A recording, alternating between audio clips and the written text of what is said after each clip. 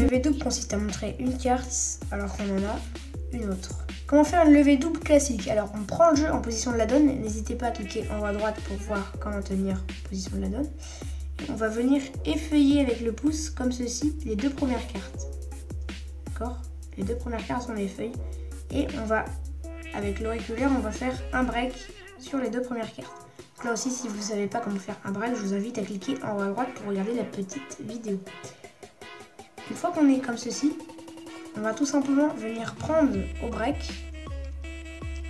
bomber un petit peu pour cacher les, deux cartes, reposer et prendre la première carte et montrer tout simplement que c'est pas la de trèfle. Alors je vous le refais, on effeuille les deux cartes, on laisse un petit break, on montre la de trèfle, on pose, on repose la première carte qui n'est pas donc la de trèfle et on montre la de cœur.